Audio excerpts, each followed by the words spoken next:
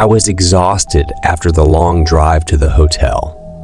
It was already dark by the time I pulled into the parking lot. At first glance, the hotel looked charming, a sprawling old mansion converted into an inn, surrounded by lush gardens and tall oak trees. Inside, the lobby was all polished wood, with a granite fireplace and cozy leather chairs. It looked expensive, but I had found a good deal online for a room. The man at the front desk was friendly. He said they had upgraded me to their executive suite at no extra charge. I was surprised but didn't ask questions. I took the room key and headed to the third floor. As soon as I opened the door, I noticed how cold it was. I could see my breath fogging up in the air. The windows were open, with snow blowing in. That's weird, I thought. I was sure I hadn't opened them. I shut the windows and cranked the heat to high, but it barely made a dent in the chill. Shivering, I climbed under the covers, still wearing my jeans and sweater. Sometime past midnight, I woke up suddenly. The room was freezing again. I stumbled to the window, half asleep, and saw that it was wide open. Snow swirled outside. I know I had shut it before bed. What was going on? I double checked the lock and returned to bed with a sinking feeling in my gut. A little while later, I woke again to a loud thump. It sounded like it was coming from the hall. I sat up, straining to hear any other noises. At first, nothing. Then footsteps, slow, steady, shuffling footsteps, moving up and down the hall. My heartbeat quickened. Who could be wandering around this late at night? I cautiously opened the door. The hallway was empty, flickering shadows dancing across the carpeted floor in the dim emergency lights. The footsteps had stopped, but all the doors lining the hall were ajar. That gave me chills. Something didn't feel right. I closed and locked my door before getting back into bed. I tossed and turned the rest of the night, unable to relax. The next morning, I headed to the front desk to ask about the footsteps. The man just smiled blandly. Old buildings make strange noises. Isn't that true? Not the answer I was hoping for. I decided to check out early. On my way through the lobby, I noticed a plaque on the wall, a memorial for guests who had died at the hotel. The list was shockingly long, going back decades. Many had died from falls or cold exposure. I felt the hairs on my neck stand up as I hurried outside. I knew I wouldn't be back. Over the next week, I tried to convince myself it was just lack of sleep playing tricks on me. But deep down, I couldn't escape the dark feeling that clung to me after that night. A month later, I saw a news article about the hotel. Another guest had died under mysterious circumstances, found frozen on their balcony after apparently getting locked out of their room overnight. The photo with the article made my blood turn cold. It was the same room I had stayed in. After that, I started digging around online. The hotel's history was more sinister than I realized. It was full of unexplained deaths, accidents, even murders. Many locals considered it haunted and avoided it altogether. I'm convinced there are some evil forces lurking within those old walls that don't want visitors leaving alive.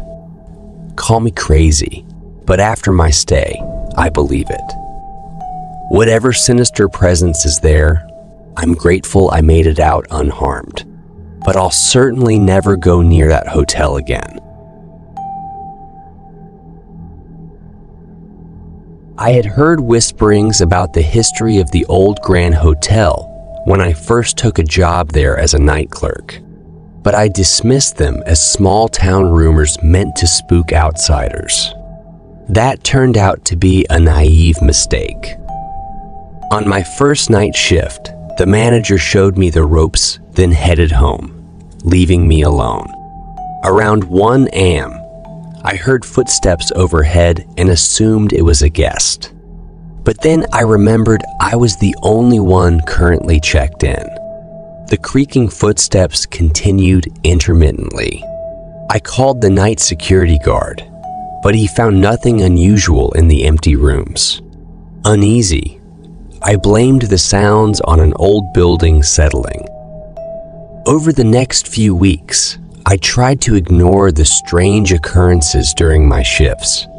Doors slamming shut on vacant floors, faint voices murmuring in empty hallways, the same set of footsteps haunting the ceiling. I stopped calling the guard. What could he do about ghosts?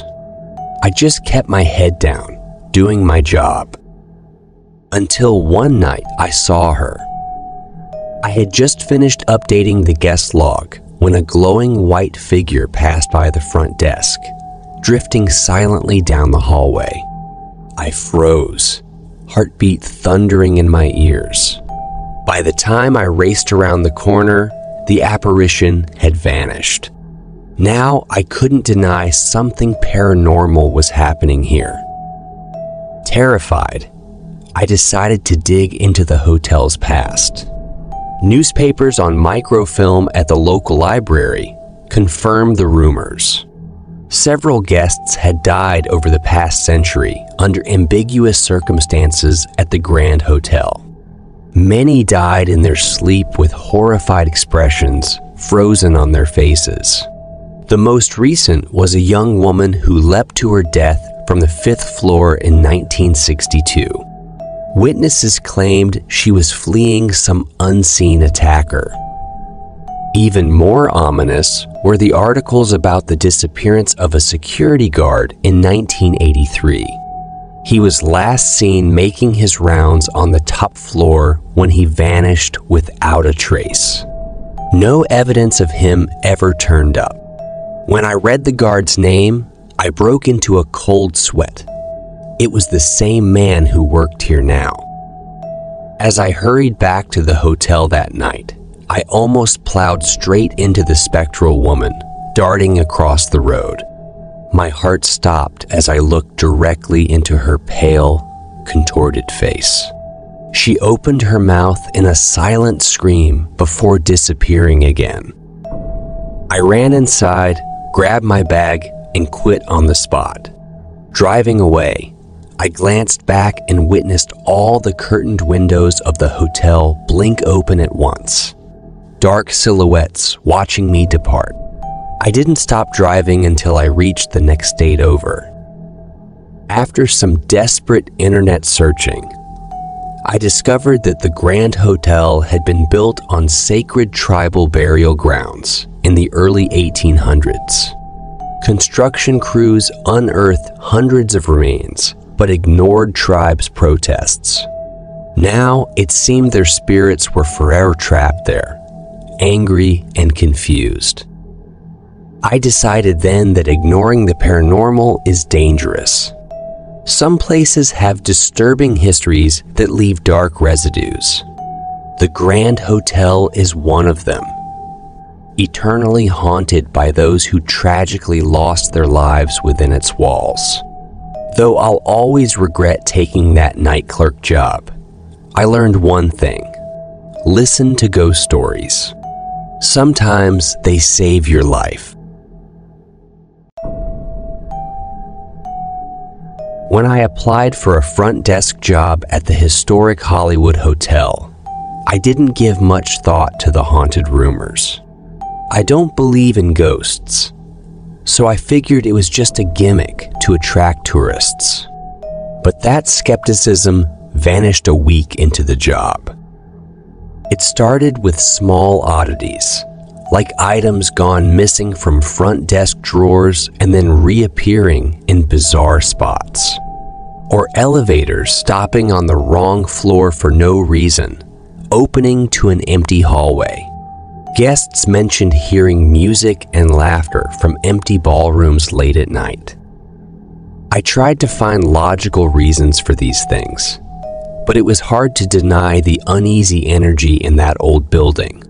Some spaces felt downright cold and malevolent.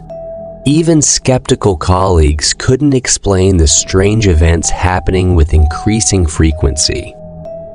Then I saw my first ghostly figure. I was arranging brochures when a pale woman in a black gown strode silently past me into the grand ballroom. I followed after her, only to find the room vacant and freezing cold. Puzzled, I had maintenance check the XE system, but nothing was amiss. After that, I saw her often, drifting down hallways, peering from dark corners walking straight through closed doors. The ghost had an anguished look on her face, like she was searching desperately for something. Researching the hotel's past yielded some clues.